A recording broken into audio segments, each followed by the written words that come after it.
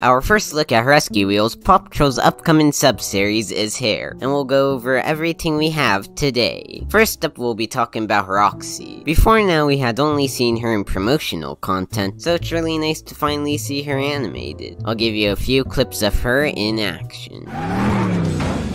Hey, Venture Bay! I hope you're ready to rock!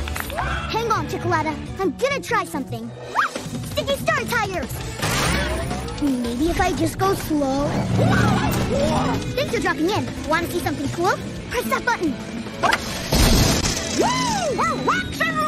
She is voiced by Mia Swaminathan. Fun fact, her older sister Tiana voices Rory of the Cat Pack, and her younger sister Michaela voices Lily in Rubble and Crew. Honestly, I had expected Roxi to have a bit of a deeper voice, but I think her current one fits her too. For anyone wondering, Roxi's breed is a Samoyed. Next up, we'll be taking a look at Boomer. The only other time we had seen him was in the form of a toy, just shortly before, so this is our first time seeing him in the Paw Patrol style. Take a look at him. Thank you, thank you very much. ah, that's better. Now I just need some real fans around here to cheer my name. Hey, you! Yeah, close enough. You mean Roxi? That's the one. Ah, if those people want to see stunts, they should come see me. Here. Hmm. Hey, I've got an idea. Drive on top of these buildings, then everyone inside will get to be in my show. Great idea, huh? Now that you've seen him, I think Boomer's personality seems like a mix of Gasket from the Ruff Ruff Packs and Claws from the Rescue Knight sub-series. By the way, he's voiced by Jade DeRoach. Then we have the pup's new gear, as well as new lookout. This is also the first time we see all of it animated.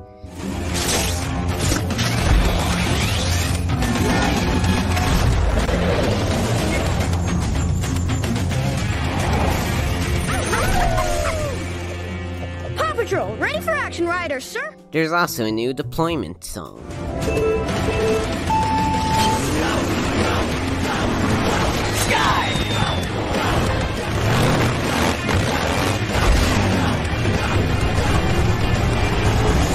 First of all, Ryder and his monster-wheeled ATV is hilariously ridiculous, but I do like his Rescue Wheels uniform quite a lot. Same can be said for the pups as well, they look very cute with the helmets. I also like the designs of their monster trucks, and if you do as well, like the video and subscribe for more like this. Discussing the lookout, there's a bit to unpack. The original lookout morphs into the Rescue Wheels headquarters, similar to the Mighty Pups one. Honestly, it really surprised me. The periscope looks a bit like it turned into a megaphone sort of device, which confuses me a little bit. The exterior of the space where they hold the missing briefings is obviously supposed to resemble a monster truck's tire. When they are about to go down the slide, there's a 3, 2, 1, go light, which I thought was a very nice touch. And when they actually head down the slide, we get a bit of fireworks, which seems very similar to the Moto Pups deployment sequence. My thoughts on the deployment song, a bit rocky for my taste, honestly, but regardless, I'm very excited to see more of Rescue Wheels, and if you are too, check out my previous videos on Rescue Wheels right there. Watch that video that's been chosen just for you, and as always, I'll see you next time.